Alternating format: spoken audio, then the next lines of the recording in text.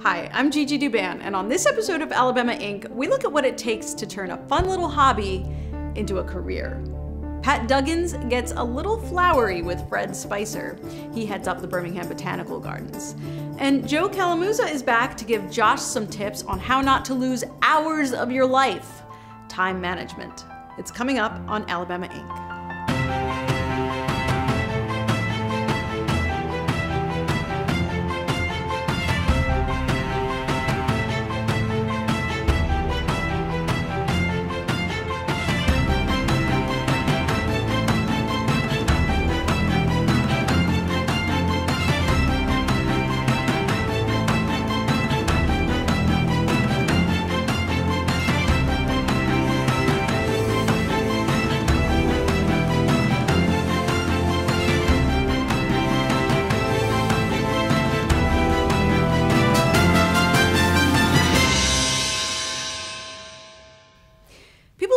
All kinds of things for fun. Some knit, some build model trains, some dress their pets in weird costumes and post videos on YouTube.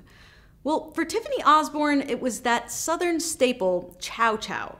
Take a look at how she's slowly turning a hobby into a paycheck.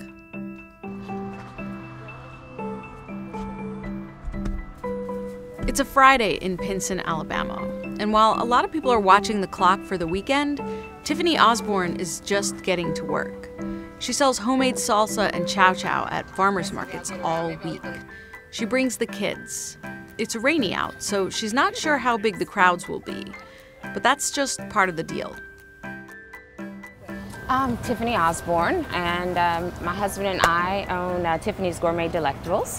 And we have a line of uh, salsas and chow chow and some jams and jellies. And where are we right now? We are at the Pinson Farmers Market. I come here every Friday from 2 to 6 and set up this wonderful tent and uh, hope that people will, will try some of my product and take it home with them. Yeah, so it's just before start time. Oh, it's Yeah, right, right about. yeah about two minutes before. They like to wait until two o'clock, you know, so we can stay right between, you know, the open and close hours um, of two to six. So we haven't started just yet. So all the vendors are here. We're trying Right. to trying to get set up. Tiffany's one of almost 15 million people in the U.S. who are self-employed. She's based at home, but she says if she's going to make it, she's got to cover a lot of ground. So she sells her goods all over the Birmingham metro area. Oh, very good. Hope you enjoy that. so woohoo! It's always exciting to make your first sale of the day. Oh, what did you? What, what was it? uh, that was black bean and corn salsa.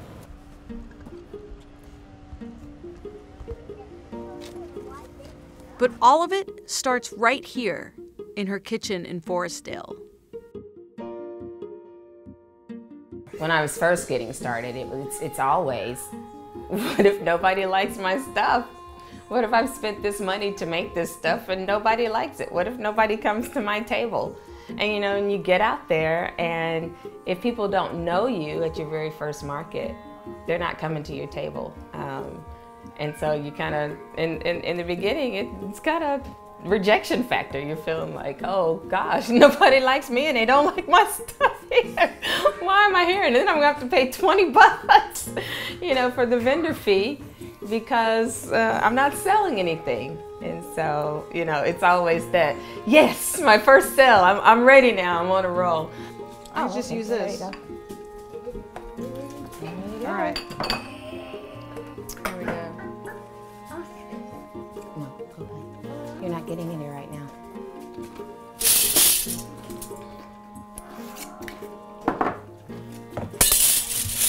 Wow. That actually kind of works. It's different. It's got enough heat. It's not super sweet with the blueberries.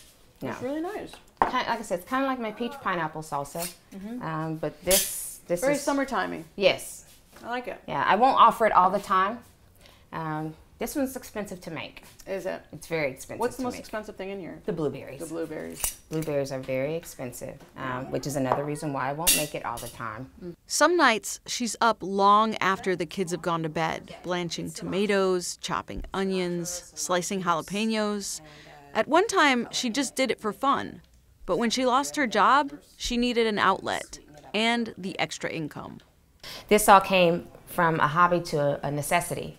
You know, when I lost my job, you know, I was thankful that I had already started this and had the wherewithal to be thinking in that direction. And so when I lost my job uh, and and was hadn't been successful in finding a job, this was really good to help supplement my family's income. And now um, that I've picked up more markets, it's it's helping even more. Tiffany will be the first to tell you she's learned a lot working for herself. And she's made plenty of mistakes along the way. This is what I started out with. Uh, this was my mom's. This it's, was your mom's? This was my mom's. Wow. It was a real cheap, cheap pot. Yeah. And the first two times I burnt something that I worked all day on, oh. I said, that's it, mom. I love you, but can't, can't I can't it. keep burning my stuff. I put too much time in it. So then I invested into, in this pot. Someday, Tiffany wants to go big. Online orders shipped across the country, grocery stores, that sort of thing. So, I mean, obviously, ideally, um, I'd like for you know someone to pick up my product line and, and put it in their stores um, and resell it and, and buy it, you know, in bulk and so um, which would require you know a staff, a larger kitchen, and, and so forth. Um, but you know, just just for the sake of you know, there are people who just like to go to farmers markets, um, and they count on me being there, and so I want to be there for them because I do I, I do still enjoy, like I said, going there and meeting the people and setting up. For now, she's perfecting an old art and putting her own little spin on it. Coming up next on Alabama Inc. What we offer here at the Gardens is reality. changes every day.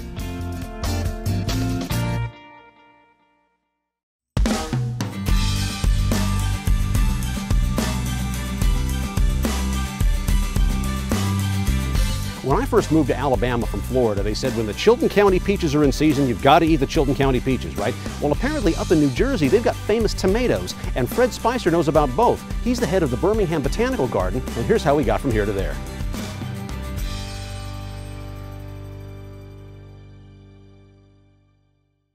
Fred, uh, of all the places you could study uh, horticultural uh, engineering or whatever, why, why, why Rutgers? Well, landscape architecture, I grew up in New Jersey. And for me, uh, going to Rutgers, I had always thought about going to Rutgers, and it was a combination of really being far enough away from home, but not so far from home that I couldn't, you know, drive there in an hour and a half and do my laundry and raid the pantry and all those things that college students often rely on their parents for. Uh, so that worked out really, really well. And um, you know, I didn't start out as a landscape architecture major. I started out as a fisheries biology major. Uh, so I very nearly worked with fish. But um, as I got into the meat and potatoes of, of what that course load looked like, I had the realization I wasn't going to be a scientist. Well, the math and uh, the hardcore chemistry, uh, but I found something in landscape architecture that combined um, a lot of elements of science and some engineering, as you said, with kind of an environmental sensibility, a design sensibility, and uh, those were things that I felt that I had. Um, and, and, and that's where I ended up in, in a major of, the major of landscape architecture. So you know, your background, landscape architecture, and yet you're running a botanical garden. So I am. What wasn't on the pamphlet when you took the job that it's kind of like, this is what it's like, okay. Well, I had uh, moved uh, professionally, moved from doing landscape architecture, design, build, uh, owned my own business. I ran several businesses for other individuals. So I gained a business background. And anytime you're dealing with, it doesn't matter if it's a for-profit business or a nonprofit organization, you know, that's just a tax status. It's still a business. So that was a skill set I had acquired. And, and before moving here, I had had five years in public horticulture in northern New Jersey working for a large park commission. And during that work, I had uh, a lot of exposure to running a larger organization. We had two arboreta, de facto botanical gardens, and a number of other sites that I was involved in the management of. Project management, development, personnel management, plant collections development, those kinds of things. And so I feel it's been a really great match for these 14 years. Another uh, goal that you all work with or trying to, to cultivate, if you'll pardon the expression, uh, younger, uh, you know, horticulturists, you know, getting, sure. getting kids involved in Sure. And in a day and age where you've got like videos and Twitter and da da da da da da da, how do you do that with a botanical garden?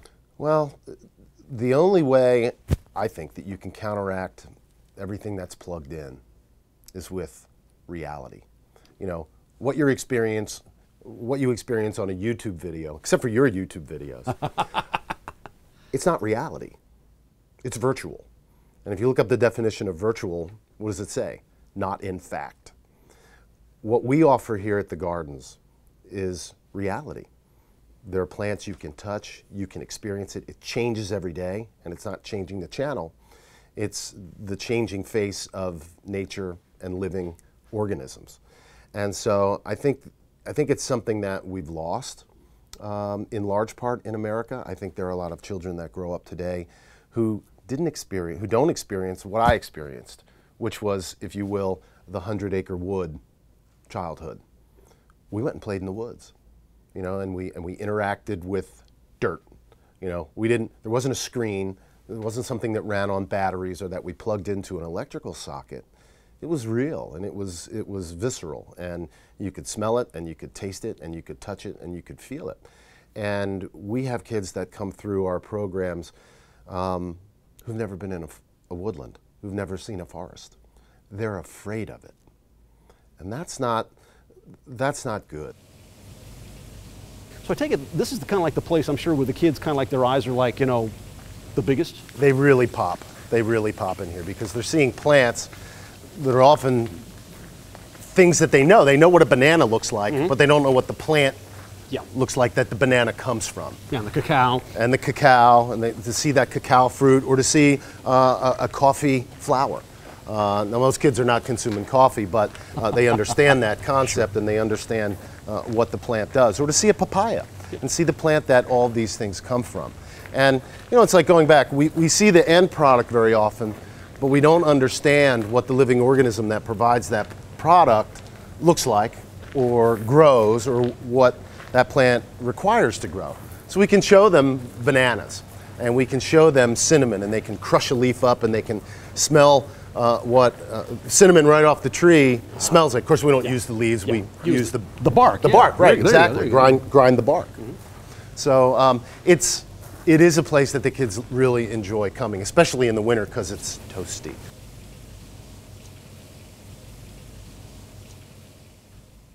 Where do you see the botanical garden 10 years from now?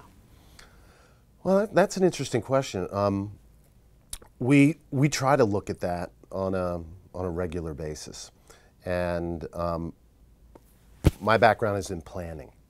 You know, so my response to that is, well, we try to plan for that.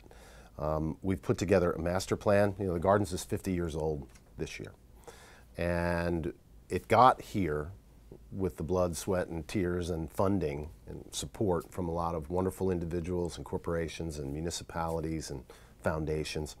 And 50 years is a young garden. I mean, it really is. When you look at some of the venerable institutions in the United States and in, um, in, in parts of Europe that have been around for uh, more than 100 years and some more than 200. Um, so we want to plan for the garden's future. But uh, there are some things that we need to address. Um, people like me talk about sustainability, and that's kind of a buzzword. We're trying to do vi- vi- vis-a-vis the master plan is to um, take a more sustainable approach, uh, work more closely with natural systems. One example is rainwater. You know, we get 54 inches of rain plus or minus a year on average in Birmingham. We would like it to fall one inch per week, preferably at night, preferably gentle, so it doesn't wash everything away. That never happens. So, what we're planning to do in the future, so we don't have to rely on public water sources, um, which is not a good thing to do in a drought, um, is capture our rainwater. Um, we can use it to grow plants with. We can use it to grow plants around. There are so many plants, both native and non-native, that thrive in a moist streamside or lakeside or emergent environment that we don't grow because we don't have that environment. I want to grow those plants. I want to show the public what those plants look like and how they can be grown.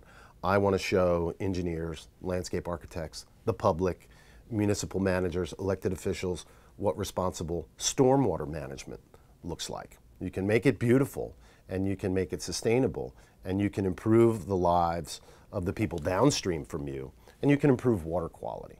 Uh, all the while, if we can gain some water to irrigate with during uh, some dry times, that'll save us money um, and that will help our living collection grow and develop. So we're looking into things like that as well as you know, some solar power.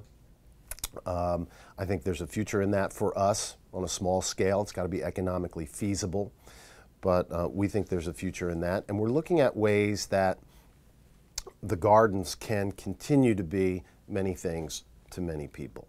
That's one of the great things about working here.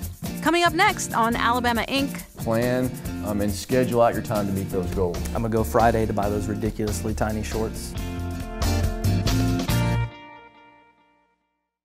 Each week on Alabama Inc., we bring in one of our show experts to talk with correspondent Josh Snead.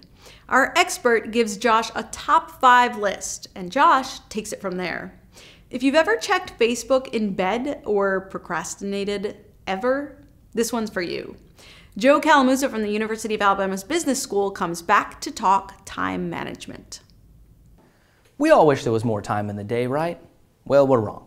Because there's plenty of time, it's just that spending four hours on Snapchat is a horrible waste of it. Luckily, Joe Calamusa from the University of Alabama Business School is here to teach us about time management. Because as we all know, timing is everything.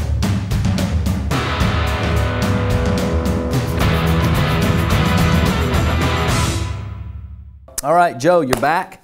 I'm wearing a purple shirt. Happy to be here. So, what do we got today? Well, it's five ways to manage your time better. Okay. People are always saying there's not enough time in the day, which is crap. That's right. Well, they say it because they don't really know how to organize and, and develop that time management plan. So they're lazy. Largely, yes. Okay. okay. Yeah. All right, so let's jump into it. Number five. Number five is have goals. Okay.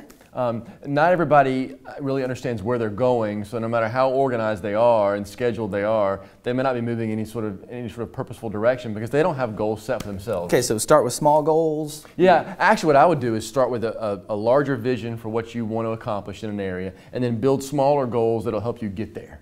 Okay. So it's like if you're going to run a marathon, 26 miles, 26.2 miles, but I've got weekly and monthly goals so that I'm reaching that 26.2 miles. Right, and you're getting the joy of like com- accomplishing something. Yeah, people like to check things off a list. So set small goals towards a big one and check them off the list as you go. But have goals first and foremost. All right. Okay. Uh, number four. Number four is to make sure you schedule.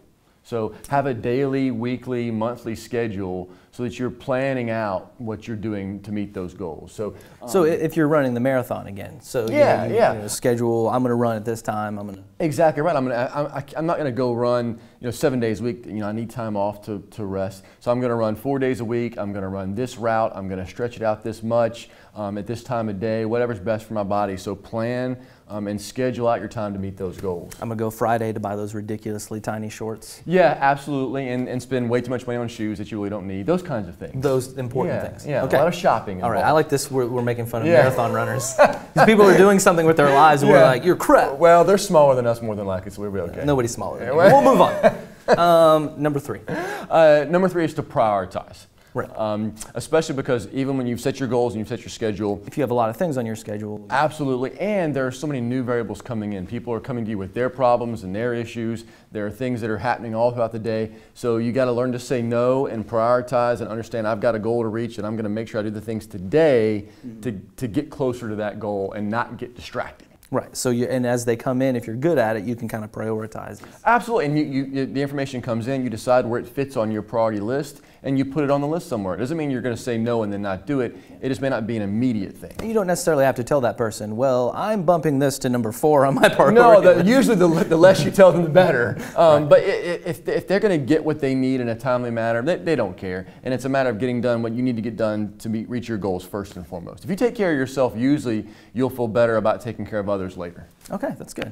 All right, number two. Uh, number two is always to make sure that you don't get addicted to the urgent, and that kind of goes with number three, right? All these pop, these things pop up, these fires and these urgent matters pop up. Well, we as human beings like to solve problems. We like to put fires out, especially if we're good at it. Like we, we you know, we help people a lot, Yeah. and then we get addicted to it.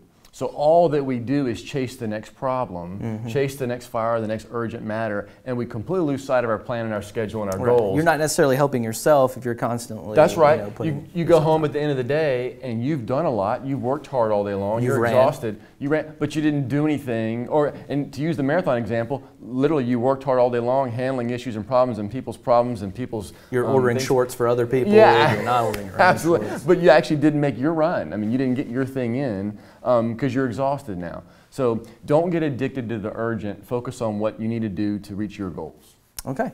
That gets us to number one. We're already here. The What do you number think? one thing to do in managing your time better is understand your limitations.